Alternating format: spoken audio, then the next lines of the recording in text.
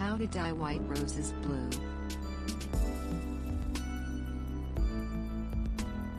Blue roses create visual appeal instantly because of their unusual color.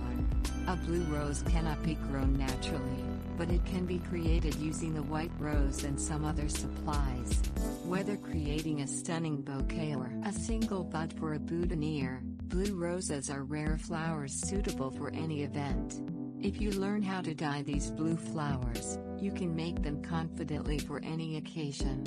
Make pale blue flowers or deep royal blue arrangements in a few days. Things you'll need.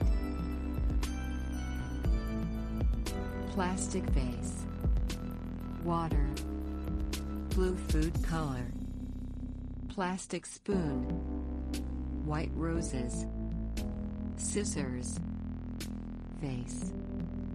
Fill the plastic container two thirds full with water. Add 3 drops of food coloring to the vase.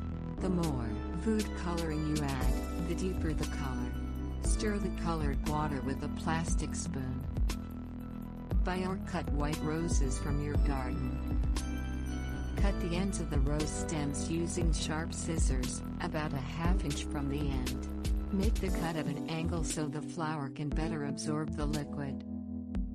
Add the flowers to the colored water, placing the stems in the vase. Allow the flowers to rest in the colored water for two days.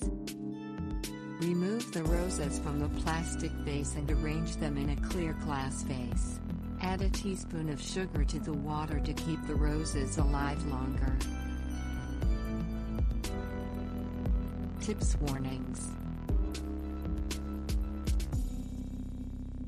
Use caution when adding blue roses to a wedding bouquet. The blue dye from the flowers may seep onto a wedding gown. Wrap the stem of the flower with floral tape to avoid seepage.